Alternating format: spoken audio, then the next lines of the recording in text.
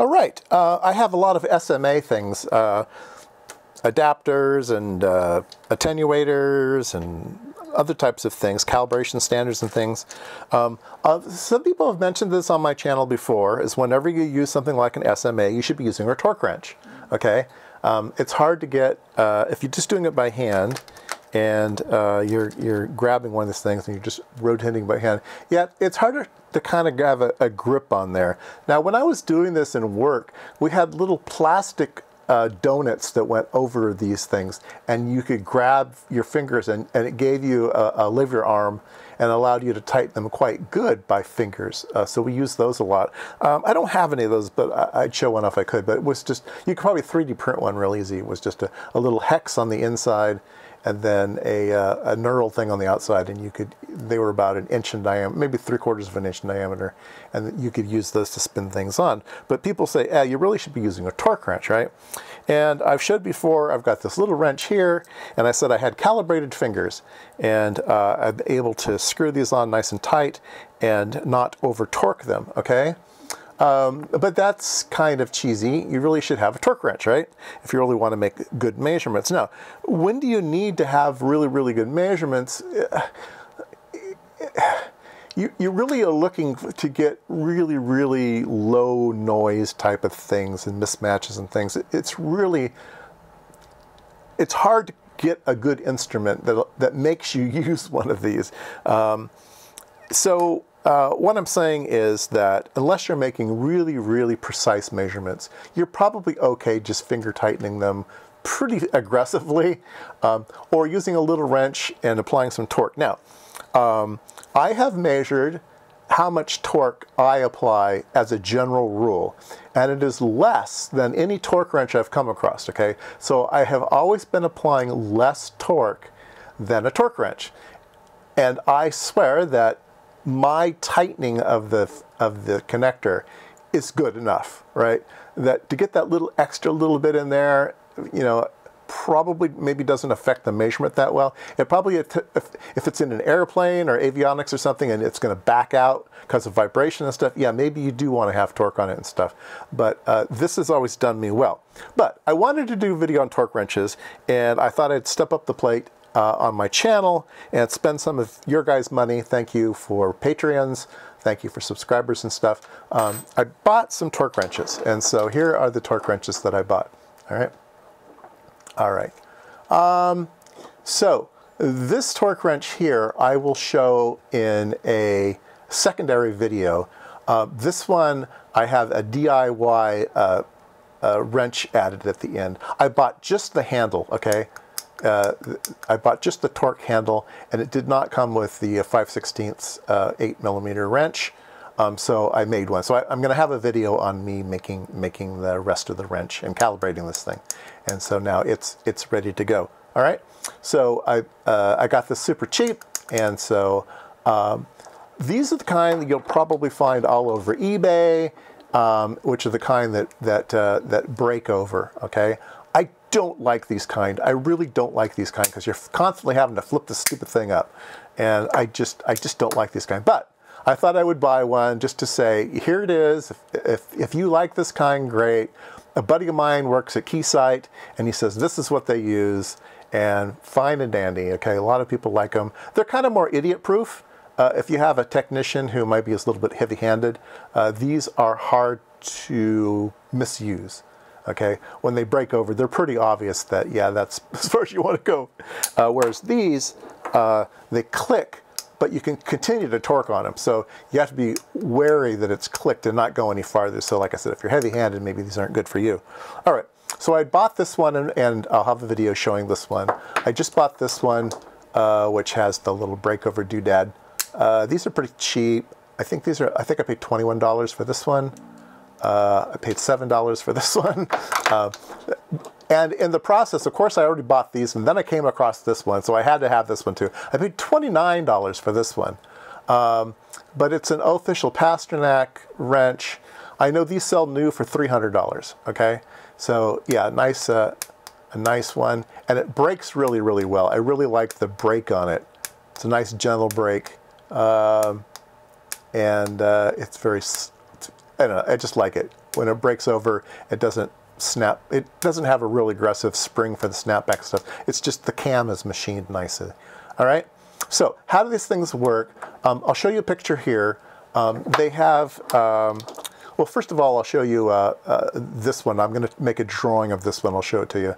But this thing here is on a pivot. There is a, a little cup here that a steel ball rides in, and then there's a spring in here. So here's the picture. And as you uh, move the handle, uh, that spring engages in that little cup and it applies a certain number of foot-pounds um, or Newton, what is it? Newton meters, yeah, Newton meters. Um, and uh, yeah, so anyway, uh, just different units, but uh, uh different connectors need different amounts of torque. And so a lot of uh, places will have different torque wrenches. Use this one on brass, use this one on stainless steel, use this one on N connectors, use this one on BNCs, use, or not BNCs, but uh, you know, like F connectors. Uh, they'll, they'll, all have different torque settings and stuff. Uh, I'll show you a picture here of the various torque settings for various connectors. Uh, there's a whole bunch of them. All right, so let's see how you use one of these things. Let me uh, set up a fictitious a fictitious setup and we will torque some screws down, or connectors I should say. All right, so here we have uh, a switch and we're going to put uh, uh, something on it. And we have stainless steel on stainless steel. Um, and uh, we're going to bring in our torque wrench. And we are going to screw it down until the uh, until the thing breaks over okay and then you have to flip it back. Um, and so that's the way that one works. All right, the way this one works is that you put it on and you bring it until it's just clicks right there. I heard it click and I'm done. And the nice thing about this one, it's ready to go the opposite direction. So this one's this one's nice. You don't have to always be flipping it back. This is the same way. You don't have to be flipping it back all the time. So I'm going to put it on here. This is the uh, Pasternack one. Um, and I'm going to bring it in. It's going to break, and it breaks a nice, a nicer way. I like, I like, I like the way this one breaks. It just, it just breaks real nice. This one is set to eight inch pounds. Uh, this one I calibrated to six inch pounds, and this one came calibrated to one newton meter.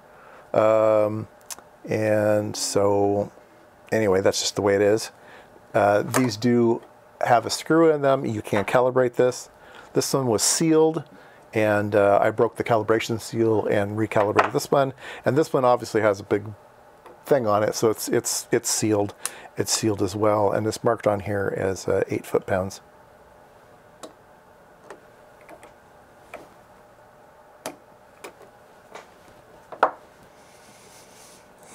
All right, um, so um, should you be using a torque wrench on your NanoVNA or your TinySA? Should you be doing that?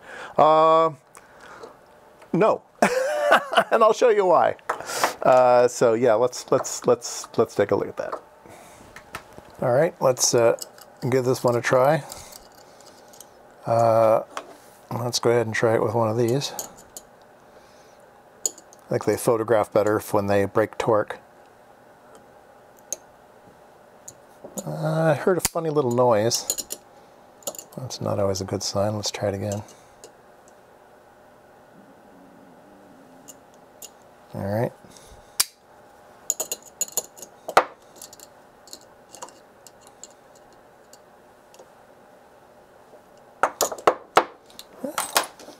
Try it with this one.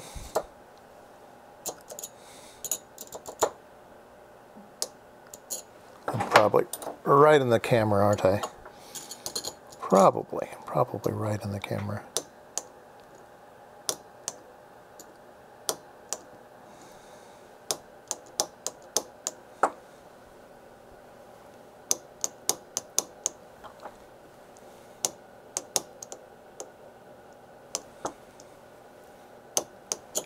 So far, so good.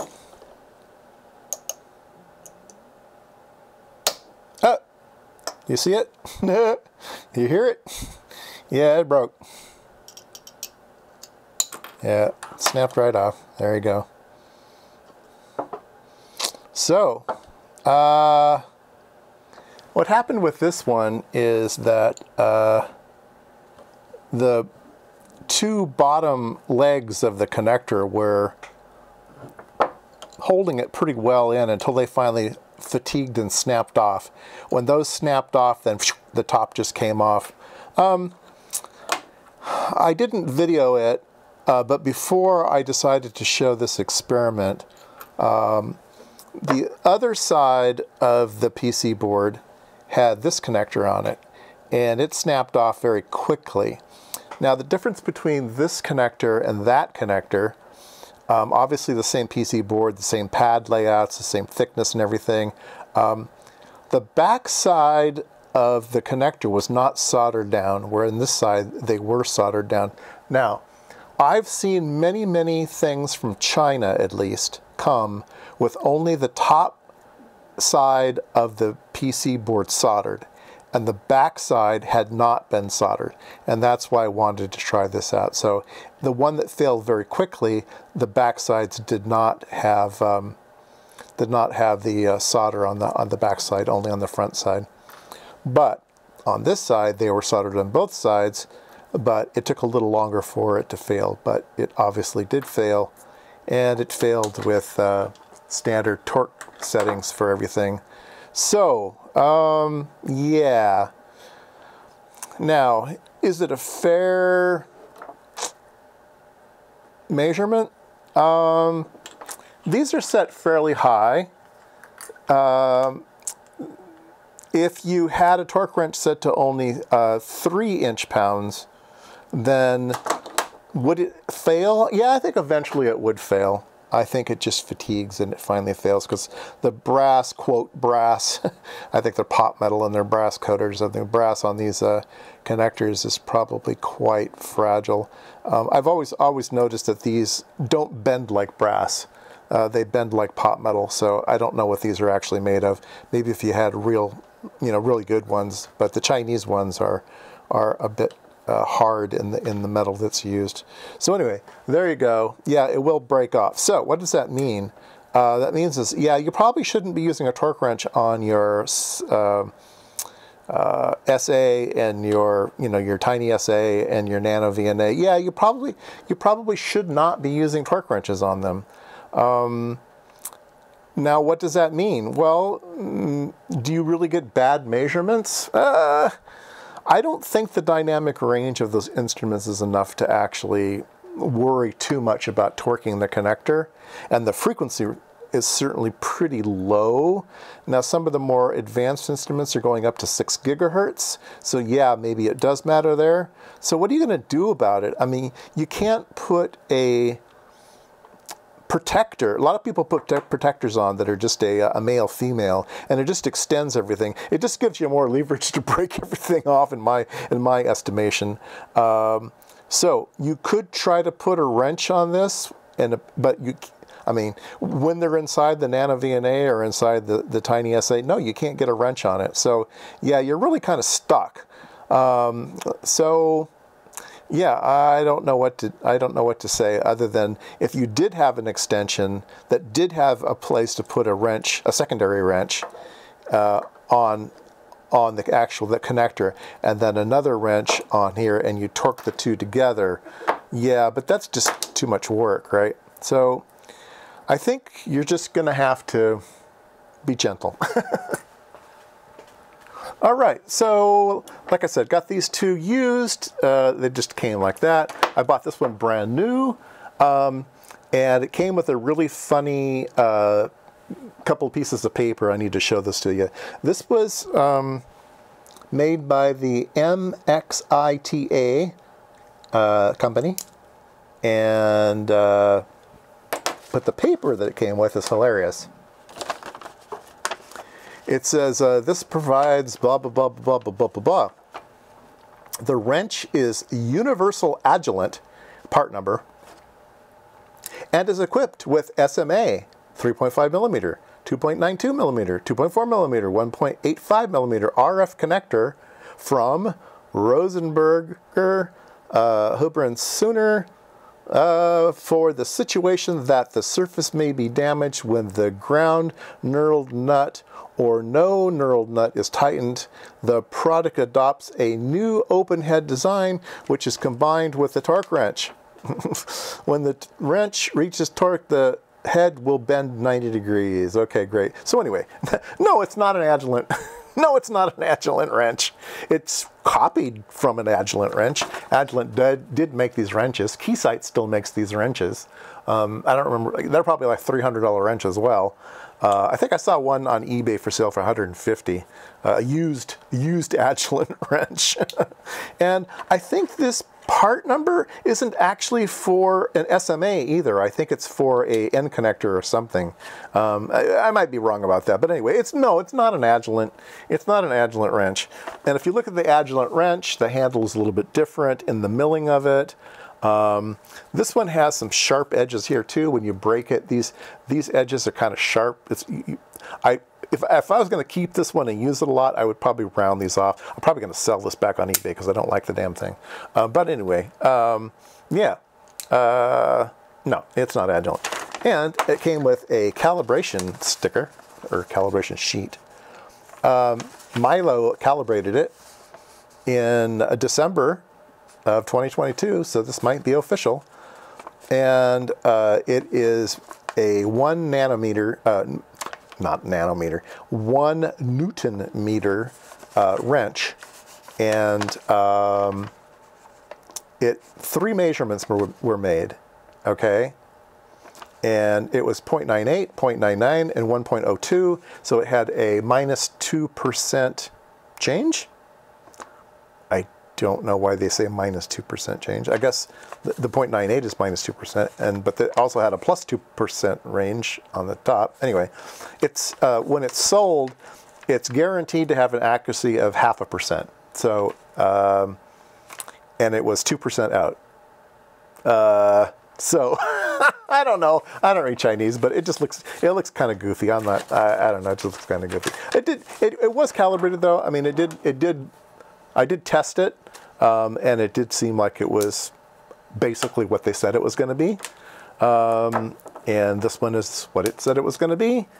Uh, maybe even a little lower. This one says 8. It was I measured like 7.8, something like that. Um, and like I said, I calibrated this to 6. Um, yeah, I don't know. Anyway, there you go. A bunch of torque wrenches, and uh, I would say only use them on high-end equipment when you need to and make sure your instrument is able to take torque. Um, don't use it on the cheapy little Chinese toys that we all have.